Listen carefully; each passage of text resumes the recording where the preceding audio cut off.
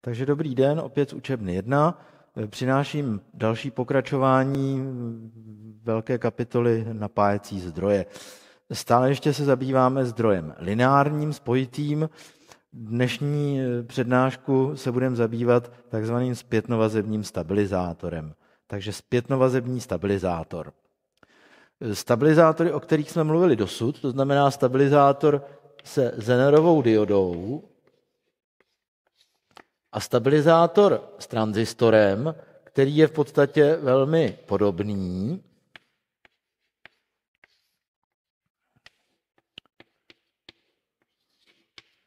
tedy tohle, co známe z minulých kapitol, e, mají něco společného, něco odlišného. Společné mají to, že využívají stejnou stabilizaci pomocí odporu a Zenerovy diody. Eh, stabilizátor s tranzistorem to vylepšil akorát tím, že nám zesílí výstupní proud, takže je možné jej používat na větší proudy než ten nejjednodušší. Oba dva mají také společnou jednu chybu. Zenerova dioda má závěrnou voltamperovou charakteristiku následující. A my jsme až do teďka předpokládali, že tato část je úplně svislá, to znamená v pracovní oblasti mezi minimálním a maximálním zenerovým proudem, že se nemění výstupní napětí. Pokud by tomu tak bylo, tak by oba tyto dva stabilizátory fungovaly naprosto bezproblémově, bezchybně a nebylo by potřeba vymýšlet nic lepšího. Ono tomu tak bohužel není, protože ta Zenerova dioda ve skutečnosti má tu charakteristiku lehce šikmou. To znamená, že pokud nám pracovní bod běhá mezi minimálním a maximálním zenerovým dovoleným proudem, tak nám napětí nestojí na konkrétní hodnotě, konstantní hodnotě zenerova napětí, ale kolísá nám tady v tom rozmezí. Jak ten pracovní bod takhle běhá, tak nám tohleto i tohleto výstupní napětí takhle jezdí. Jinými slovy, ten zdroj má v zátěži eh, o něco menší napětí než na prázdno. Ten rozdíl samozřejmě není zdaleka takový jako u reálného zdroje napětí. Ten rozdíl nemusí být příliš velký, ale pro některé situace nám to nemusí stačit. A z toho důvodu existuje věc, která se nazývá zpětnovazební stabilizátor. Využívá v podstatě principu regulace, kde princip regulace je využit tak, že snímáme napětí na výstupu a pokud má napětí na výstupu tendenci se zmenšit vlivem většího proudu do zátěže, tak jakoby ten regulátor přidá, aby ho udržel. Pokud naopak ten výstup odlehčíme a výstupní napětí má tendenci stoupnout, tak ten regulátor mu ubere. Čili jedná se o zpětnovazební regulaci využívající regulační záporné zpětné vazby. A teď se podíváme, jak by takové zapojení vypadalo. Tak základem je samozřejmě eh, náš stabilizátor s odporem a zenerovou diodou.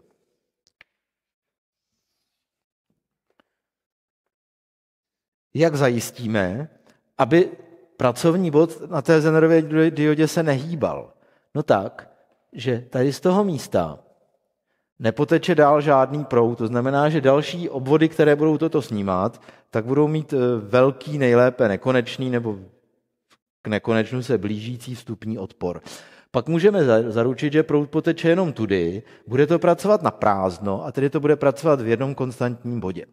Eh, někdo by mohl namítnout, že pokud tady bude napětí trochu měnit, protože ještě není stabilizované, tak i tento proud se bude trochu měnit a stejně to bude kolísat tak v případě takovém to by měl pravdu. V reálných stabilizátorech ovšem v tomhle místě nebývá odpor, ten jsem tam namaloval jenom pro zjednodušení.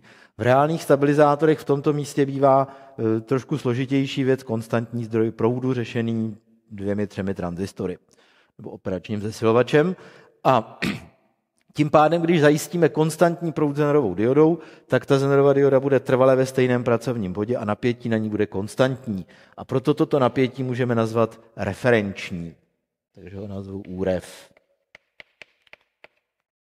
Zase v reálných stabilizátorech tady nebývá jedna zenerová dioda, ale bývá tam nějaká sériová kombinace několika různých zenerových diod s různou teplotní závislostí, aby se i vlivem teploty navzájem kompenzovaly a tedy je to v podstatě toto je správně zdroj referenčního napětí a toto je proudový zdroj.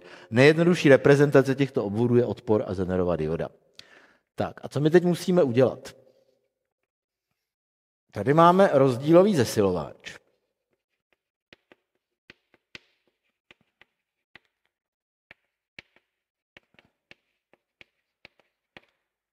zesilovač. do toho rozdílového zasilovače my povedeme napětí z výstupu.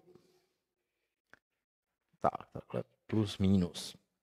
Jinými slovy, pokud bude na výstupu přesně stejné napětí, jako je napětí referenční, což je přesně to, co chceme, tak z toho rozdílového zesilovače půjde nulový rozdíl do řídícího obvodu, který je nad ním. Tady bude řídící obvod.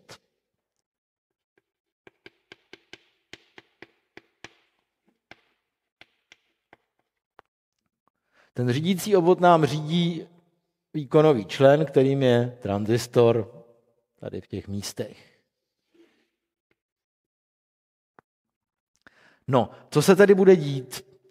Pokud my ten eh, stabilizátor zatížíme, tak tady vzroste proud, tím pádem bude mít tendenci poklesnout napětí zde. Pokud tady poklesne napětí, tak referenční napětí bude větší než výstupní napětí a tedy rozdíl těchto dvou napětí bude kladný.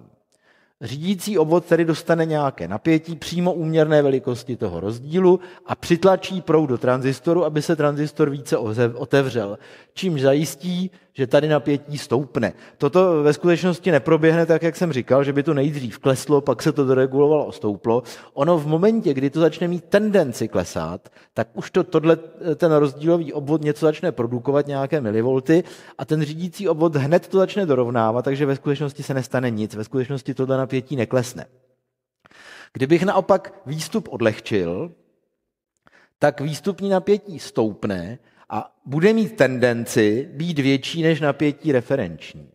V ten moment výstup rozdílového zesilovače bude směřovat k záporné hodnotě, protože toto bude menší než toto. Zase mluvím pouze o tendenci, protože se to ve skutečnosti nestane. Ve skutečnosti ty dva jevy působí v reálném čase proti sobě tak, že se navzájem vyruší. No a ten řídící obvod, když dostane záporné napětí, tak ubere proud tomu tranzistoru. Čímž zajistí, aby k tomu nárůstu napětí vůbec nedošlo. A výsledkem je, že tady na tom výstupu bude napětí mnohem stabilnější než na výstupu standardního přímého stabilizátoru z těch minulých přednášek. Bude tady v podstatě napětí prakticky naprosto totožné s napětím na Zenerově diodě, která pracuje v jednom pracovním bodě. A závisí tedy na tepelné stálosti a na přesnosti té Zenerovy diody, jak moc přesné bude tohleto napětí. Tadyhle nějaké, abych to doplnil, UF od filtru a tady je nějaké výstupní napětí na zátěži. Že tady na zátěži bude v podstatě napětí UREF. No, takovýto stabilizátor už je trošku náročnější na konstrukci, je trochu dražší, takže bychom neradi, aby nám schořel. V případě, že bychom jej začali přetěžovat proudem, co by se mohlo stát? Pokud jej přetížíme příliš velkým proudem, tak ten tranzistor schoří, ten tranzistor schoří i hned. Pokud jej budeme přetěžovat jenom trošku víc, ale bude to v nějakém teplejším prostředí, tak ten tranzistor bude pracovat třeba kousek za svojí mezí a tudíž neschoří hned, ale výrazně se zkrátí jeho životnost.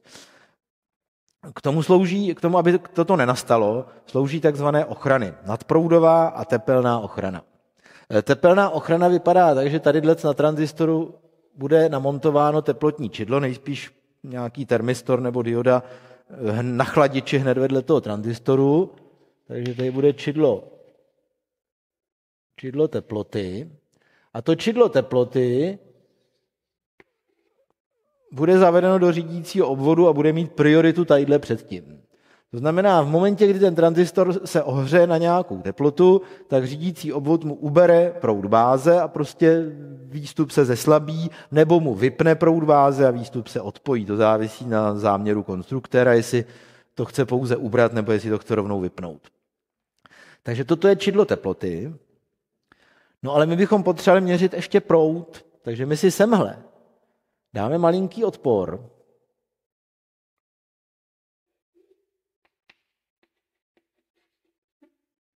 Pardon, ten odpor bych měl dát před to, aby byl zahrnut do té regulace správně,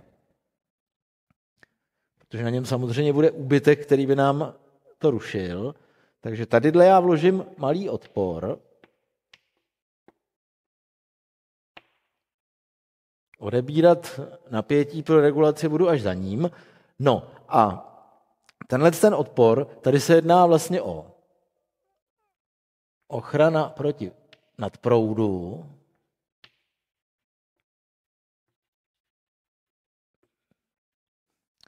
Z tohoto odporu já si sejmu úbytek, takže tadyhle bude nějaké delta U, které je přímo úměrné I RZ, kde IRZ teče tady. Tenhle ten, tuhle tu delta U získám takto, to bude tohle. No a tohle bych měl malovat stále červeně.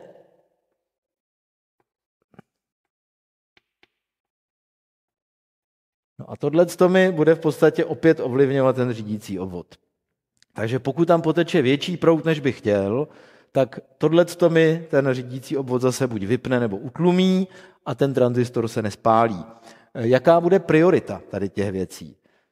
Tak priorita bude taková, že první prioritu určitě bude mít čidlo teploty. To znamená, pokud se tranzistor ohře na nějakou teplotu, tak vůbec na ničem dalším nezáleží. Nemusí dokonce ani být přetížen proudem. Stačí, aby celé zařízení se prostě vyskytovalo v prostředí s příliš vysokou teplotou a ten chladič byl špatně navržen, tranzistor to eh, nerozdejchá, eh, jeho teplota stoupne někam nad 95 až 120 stupňů podle toho, jaké jsou jeho parametry katalogové a v ten moment čidlo teploty má absolutní prioritu a prostě zajistí, aby se nic nestalo.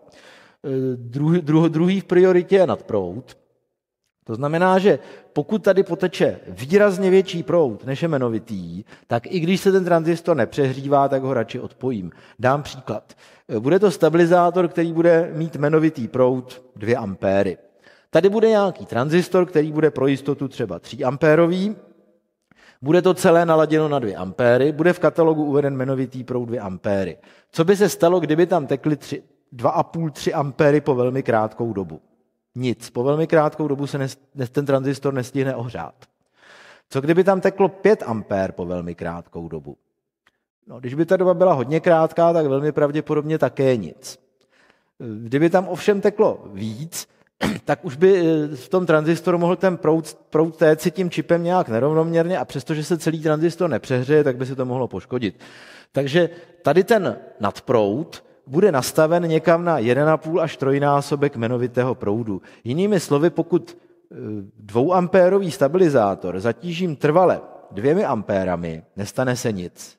Pokud jej zatížím trvale dvěmi ampérami eh, v prostředí s nějakou výrazně vyšší teplotou, tak se může stát, že za nějakou dobu se tranzistor ohřeje nad teplotu povolenou a čidlo teploty mi zajistí vypnutí přes řídící obvod. A nebo také se může stát, že ten obvod zatížím velmi krátkodobě proudem třeba 4 ampéry. Nestane se nic, protože tenhle ta nadproudová ochrana nebude nastavena na 4, ale třeba na 5 ampér. A tranzistor se za tu krátkou dobu nestihl ohřát. Pokud ale ten proud, byť i velmi krátkodobě, překročí například těch zvolených 5 ampér, no tak bez ohledu na to, jak je tranzistor teplý, zapracuje tohleto. A třetí v prioritě teprve je tohle, protože e, ta správná činnost regulace, ta v podstatě bude fungovat jenom tehdy, když nebude mít ani nadproud, ani přehrátý systém. Takže tyhle čísla označují prioritu zásahu. No a máme tedy tepelnou ochranu. Ta tady byla označena žlutě a máme tady nadproudovou ochranu.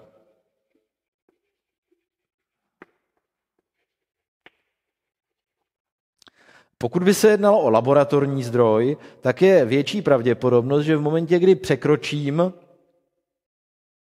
prout nebo teplotu, takže se mi celý systém vypne a bude očekávat další zapnutí, to rozsvítí se nějaká kontrolka, musím buď zmáčknout nějaké tlačítko, abych to nahodil, něco jako jistič, a nebo po vychladnutí či po snížení toho proudu to po chvíli zase samo naskočí.